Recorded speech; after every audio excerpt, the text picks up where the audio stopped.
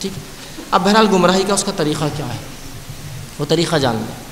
وہ قوم کبھی کامیاب، کامران نہیں ہو سکتی، دنیا میں سرخرو نہیں ہو سکتی جو اپنے دشمن کو نہ پہچانے۔ وہ قوم کبھی کامیاب اور کامرانی نہیں حاصل کر سکتی جو اپنے حقیقی دشمن کو نہ پہچانے۔ ہم نے تو نوز باللہ اللہ کے رسول دشمن سمجھ لیا اپنا۔ یار یہ کیا نماز، روزہ، زکات لگا کے رکھ دیا ہمارے پیچھے؟ زندگی میں عائش کرنا، کھلا رہنا، یہ وہ گانے، میوزک ہونا، یہ ہونا، بس یہ زندگی ہے۔ تو جان لے حقیقی دشمن کو پہچانے آپ۔ ورنہ ایسا نہ ہو کہ دوست کو دشمن اور دشمن کو دوست سمجھ بیٹھے ہوں۔ کھلے ہوئے دشمن کو پہچانے۔ تو آئیے اس کی گمراہی کا طریقہ۔ برائی کو اچھائی بنا کر پیش کرتا ہے۔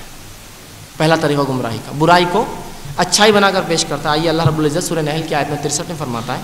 فضین الحم الشیطان و اعمال کہ شیطان نے ان کے اعمال کو بہت مزین، خوبصورت بنا کے پیش کیا۔ یہ قریش کے تعلق سے بات ہو رہی ہے۔ جب یہ لڑنے آئے مسلمانوں سے تو تب شیطان نے کہا، آج تو کوئی غالب نہیں آئیں گا اور ان کے برے اعمال اچھے پیش کر کے بتا رہے تمہارے پاس تو بہت کچھ چاہیے۔ تو کیا کرتا ہے؟ برائی کو اچھائی بنا کر پیش کرتا ہے نا۔ اور یہ آج کل چل رہا ہے۔ حرام چیزیں، نشاور چیزیں اچھے اچھے ناموں سے لوگ پی رہے ہیں۔ ہو رہا ہے۔ برائی کو اچھائی بنا کے پیش کیا۔ معلوم مسلمان شراب نہیں پئیں گا۔ تو اس کو بولو نان الکوہلک بیئر ہے۔ شراب کہاں؟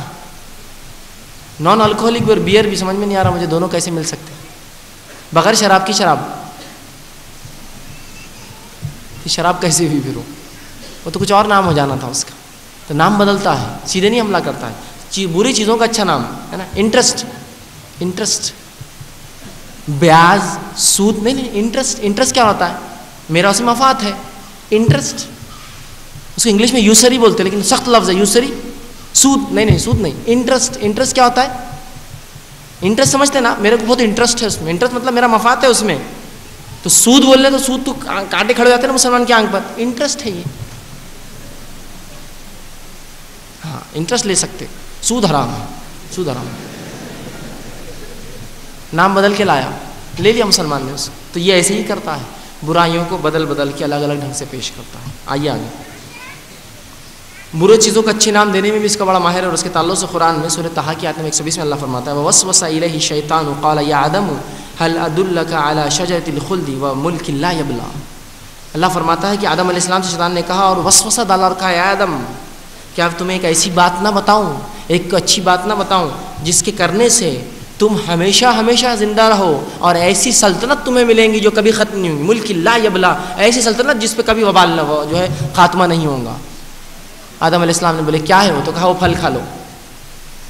اگر وہ بول دیتا، اس پھل کھانے سے تم جنت سے نکالے جاؤ گے تو آدم علیہ السلام کھاتے تھے کیا؟ نام بدل کے لایا، کہا کہ تم ہمیشہ زندہ رہو گے۔ ایک اس میں کہا کہ تم فرشتوں کے جیسے ہو جاؤ گے۔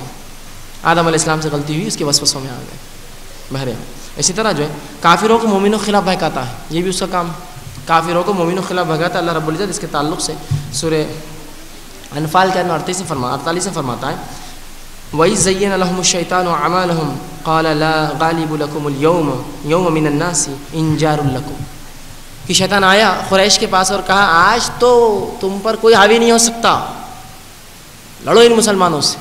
اور بہکایا اور کہا کہ تو قریش میں یہ بات چل رہی تھی کہ رسول اللہ، ابو سفیان کا قافلہ نکلنے کے بعد اب جنگ کی جائے یا نہ کی جائے؟ تو جب شیطان کو لگا رہے جنگ نہیں کریں گے، کیوں تو شیطان چاہتا ہے کفر میں لوگ مرے تو آ کر کہا رے تم یہ کیا سوچ رہے ہو؟ ان کو مزین کیا، شیطان نے چمکا دیا اور کہا، شیطان و اعمال ان کے عمل اور کہا، وقال لا غالب لکم اليوم۔ کہا کہ آج کوئی غالب تھوڑی رہنے والے، تم پر کیا تعداد ہے تمہاری، کیا معاملہ ہے تمہارا؟ اور کیا من الناس ان نجار الکم اور میں بھی تو تمہارے ساتھ تو خیر خواہ ہوں تمہارا۔ میں بھی تو بول رہا ہوں۔ خیر خواہ بن کر آیا اور ان کو جہنم کی گھاٹ اتارا سب۔ پھر انہوں نے مسلمان سے جنگ کی اور اس کے بعد جو ہے وہ جنگ ہارے بہریا تو یہ اس کا ایک طریقہ ہے۔ اسی طرح جو ہے، مومنوں کو اپنی فوج سے ڈراتا ہے۔ لیکن جو ہی مومن جب اپنے اس پہ آتے ہیں تو فرشتوں کو دیکھ کر کیا کیا جائیں گے؟ بدر میں۔